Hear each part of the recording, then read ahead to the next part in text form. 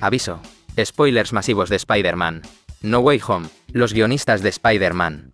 No Way Home, Chris McKenna y Eric Sommers, han revelado al medio THR cómo se planteó la historia de la película. Según señalan, todo fue construido alrededor de las sorpresas que tenían pensadas y habría sido imposible hacerlo de otro modo para que quedase como ellos querían. El objetivo principal de ambos guionistas fue obviamente el plato fuerte de la película, un secreto a voces.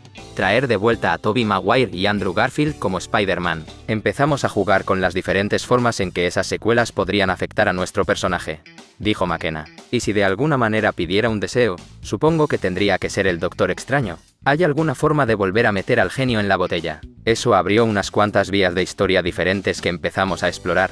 En un momento dado, tienes que mostrar las cartas, continúa McKenna. Tienes que estar a la altura de la idea.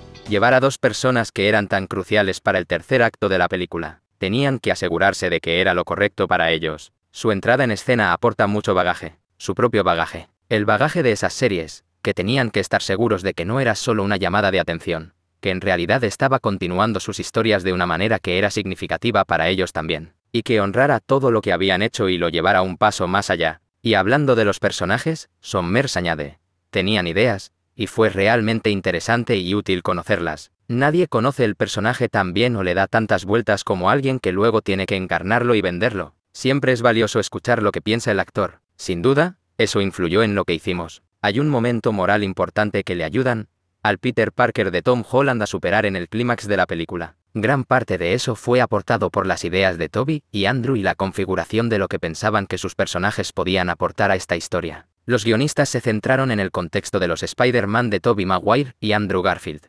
Ofrecer detalles de su presente sin decirlo todo. Queríamos ser fieles a los personajes de sus películas. Realmente queríamos mostrar dónde están, sin dar demasiado sin llegar a soltar todo lo que hay. El Peter de Toby dirige Industrias Peter Parker. Continúan revelando los guionistas. Toby no quería mostrar lo mínimo sobre la vida de su personaje, explicó McKenna. Muy, muy mínimo. A Andrew le encantó la idea de estar todavía torturado por lo que pasó en Amazing Spider-Man 2 y cómo le destrozó eso, y cómo podían llevar eso a Tom. Podemos empatizar contigo. Sabemos por lo que estás pasando. Si alguien en el mundo sabe por lo que estás pasando, somos nosotros. Pero también, podemos ser guías. Y finalmente llegó la parte de la entrevista más interesante.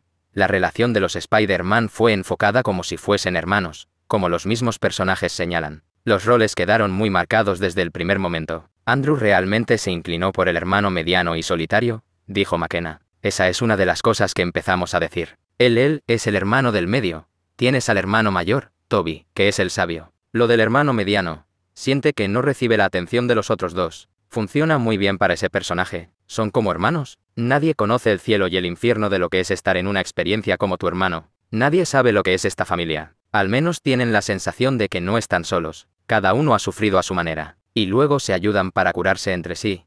Fue maravilloso ser parte de conseguirlo. Antes de terminar, Sommers compartió que la muerte de la tía May es ese punto de inflexión para el Spider-Man de Tom Holland, el mismo que el resto de Spider-Man han tenido desde siempre al perder al tío. Ben, este comentario refuerza la idea que quisimos transmitir en nuestra crítica. No Way Home es una película de orígenes,